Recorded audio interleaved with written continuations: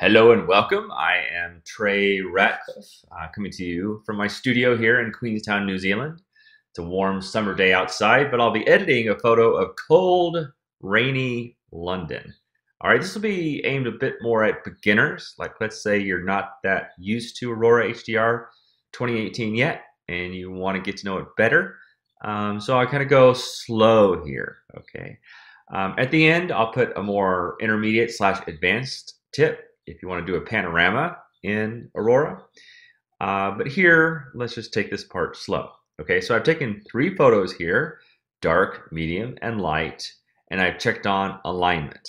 Okay, uh, you don't have to take three photos in. You could do a single JPEG or a single RAW. Um, all these things work great in Aurora. Okay, but in this case, I'm just sort of doing the basic bracketed shot. Okay, so now I will click Create HDR. And here we are. Um, you can see that something already a little bit magical has happened, and that's sort of the magic sauce of Aurora HDR 2018. I think it's one of the reasons we were named um, uh, Apple's Mac App of the Year, which is amazing. I mean, there must be hundreds of thousands of apps that go into the running, but somehow we won. So let's look at a before and after. I can click this little eyeball. This is before. So this is the middle exposure, and this is the after. Okay. And we're going to make some more changes to it. We're going to zhuzh it up a little bit, but uh, it looks pretty good. The other way you can see before and after, by the way, you click this little thing, and you can go back and forth, and back and forth, see that it's done something. You can see the initial HDR effect is pretty mild, right? There's nothing too extreme. And of course, the reason you want to do all this is because the human eye can see so much more than the camera's sensor, right? So, so much more sensitive. Um, so let's turn this off. Okay. Um, you have all these controls over here on the right that give you all this powerful stuff. Um, I know for beginners, this can be a little scary. So in a lot of ways, you don't even have to touch those. Don't even, we won't worry about those for the beginner, for the beginning part of this beginner video. Instead, you may want to click this thing, and this opens up all of your presets. Okay, the presets are extremely powerful.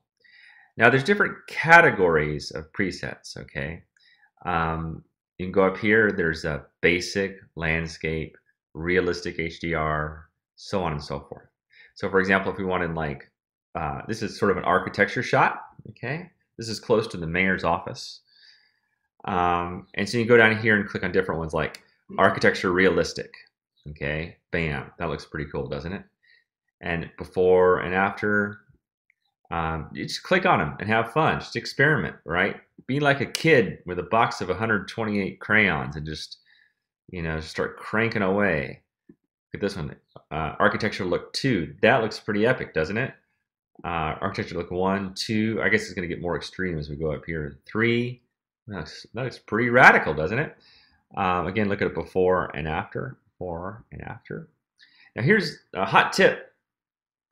If you are using these presets, say like you like it, but like, oh, it's a little, a little too much. Like, let's just, let's go to commercial break. So what you can do is you can dial this back here. Do you see this amount? Say if you only want 50% of the look, drop it down to about 50. All right, this is a percentage here, by the way. Um, see how that works? Isn't that cool? Isn't that cool? There's another grouping of um, presets here I recommend. Uh, uh, this is me, Trey Ratcliff, but uh, other great photographers did these too, Serge and Captain Kimo. So if you go here, and click on Trey Ratcliff, it's me. Uh, some of mine are very basic, some are extreme. Um, I'm all over the map. It's kind of like my personality. It's like you, you never know what's going to happen next. Quite unpredictable even for me. Sometimes I feel like I have no free will and things just, you know, happen. Um, but yeah, these are uh, these are really fun. I hope you have some fun times with these. Look at that one. That was pretty cool. That was called Button the Metaphysical. Maybe that's a little too extreme, so you might want to dial it down a little bit. There we go. See? Is it that easy and fun? Easy and fun? And then when you're done with it, um, you can export it you maybe you're round tripping from Lightroom, and then you know when you save it, it goes back into Lightroom, or you can export it to uh, whatever you want. You can open it inside other programs, uh, so on and so forth. So you see, we did all of this stuff without even clicking on any of these controls. Okay. Um, I will show you a little bit about the controls right now, maybe just two or three of my favorite sliders, because you can think of a preset as sort of a beginning stage, and then you could add your own je ne sais quoi, okay, to this uh, to this London shot. So um, one of the newest and coolest sliders here is HDR Enhance. And you might notice, by the way, that as um, you click on different presets, that these sliders move around, okay? That's all a preset is, is it's a series of sliders, like the internet is a series of tubes, all right? So let me turn this off. And one of my favorite sliders here is HDR Enhance. So you can see it's already up to 67, but if I drop this down, you'll see the HDR look gets a little bit less extreme, okay? Or you can go really high and it becomes a bit more extreme, okay? You can get the HDR look even crazier than that, right? If you really like this look, which a lot of people do, I certainly do. And that's down here in the HDR structure area, all right? So you can really increase the amount, um, increase the boost, and you can see it's getting kind of cray cray. Drop down the softness, which gives you kind of harder lines. Uh, of course, we don't want to do all that. It looks, I'm just, that's just for example, just illustrating the purpose of what these things are for.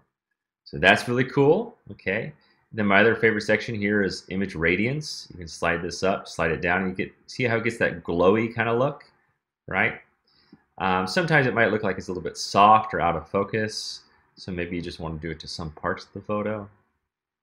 If you want to learn how to do different things to different parts of the photo, part two of this video, which continues right after this, I'll show you more of that. Okay, how to use brushes and stuff. All kinds of fun tools. I really do, uh, even if you're a beginner, I know all this stuff is scary. You're like, oh, I don't know what this means, but don't worry. Uh, just come play with it. Uh, vignetting is always fun. I think it'll look good here. A little bit of vignetting. Oh, yeah, cool. Look at that. Look at that. Okay, so once again, a before and after, for and after.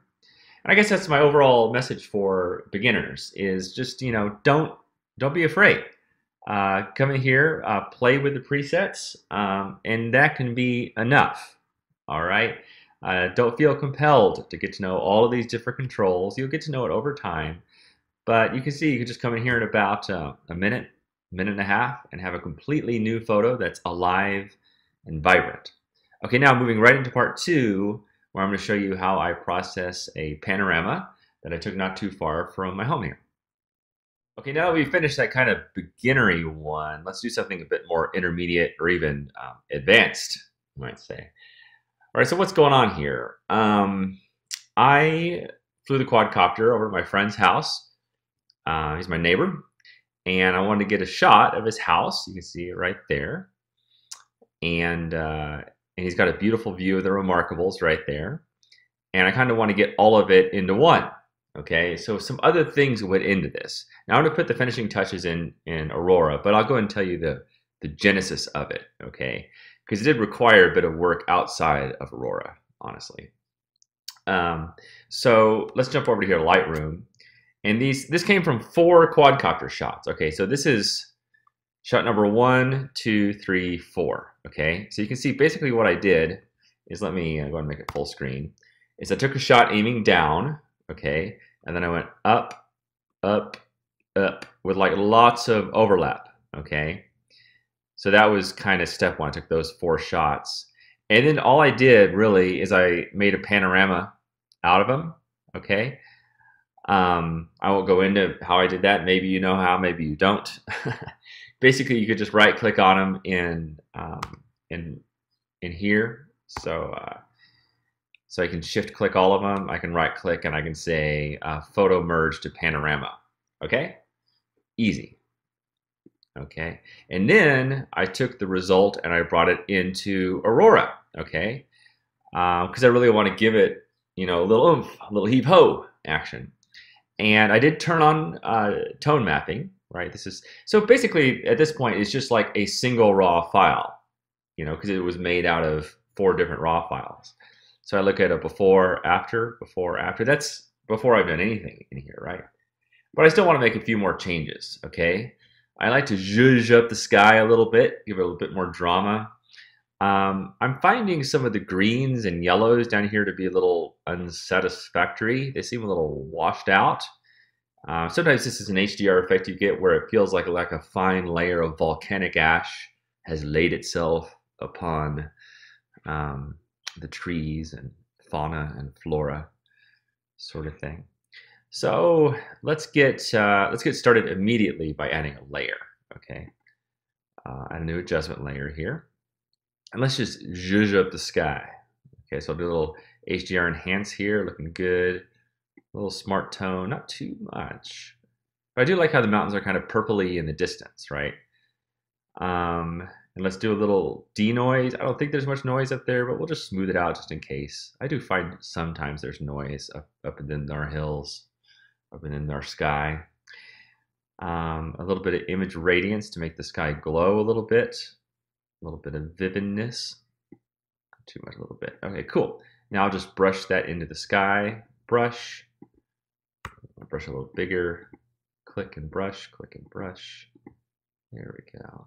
Maybe I'll amp it up even a little more. Okay, so let's go to HDR structure. There we go. Look at that. Oh yeah, looking good.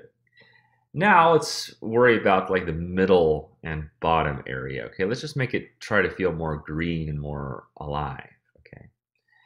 Um, it is flatly lit here for sure. You can tell you can tell the sun's not hitting anything because you don't see any shadows, right? I mean, it's obvious now that I say it, but when you don't have direct light hitting green stuff, it comes out a bit, you know, less green. Um, it's amazing. You know, I think as photographers, even even I take this for granted.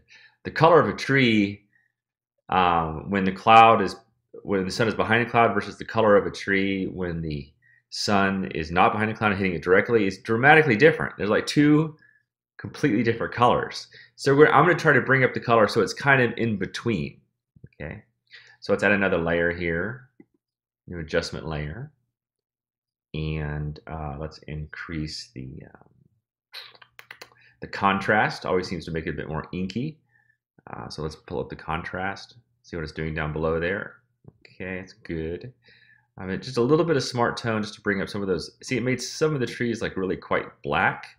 So let's just, well, let's just pull up the blacks then just to get rid of those bits. There we go. Cool. Maybe a little too much contrast. Okay, well, we won't do it everywhere, okay? So we'll paint it in. But like, see how these trees right here are kind of black? And these are a little too black? I don't really like it there. So when we paint it in, we'll do a less extreme right there. The other nice thing you can do is you can add image radiance and um, uh, maybe a little bit of warmth. And this will warm things up a little bit too, okay? So now everywhere where I didn't really find the colors too satisfactory, I'm just going to paint in. Let's change our opacity down to uh, 50 or 60 or so. Okay, so just kind of painting in. I'll show you my masking area here. Let me turn on the mask. Mask. Ah. So I'm just going to paint it in around here. This is kind of where I remember it looking good. Um, it's been sort of a warm, hot summer here for, I mean, hot for us. It doesn't, it rarely gets above 75 degrees here, but we had a few days that, were like 80, and people were like, "Oh, I'm feeling the vapors." It's not bad though, um, but it's just just enough to turn some of that grass a little bit brown, you know, like happens up in Northern California. So I'm just kind of painting over the parts that seem just a bit mm, like they could use a little bit of oomph. Okay, there, something like that. There looks good. Um, and then let's turn off the mask. Cool. So we can look, kind of look at the before and after what we just did. You can turn on off the eyeball here. So it just feels a bit more alive, a bit more poppy. Okay, and let's just HDR up the bottom a little bit more. Okay, just just for fun.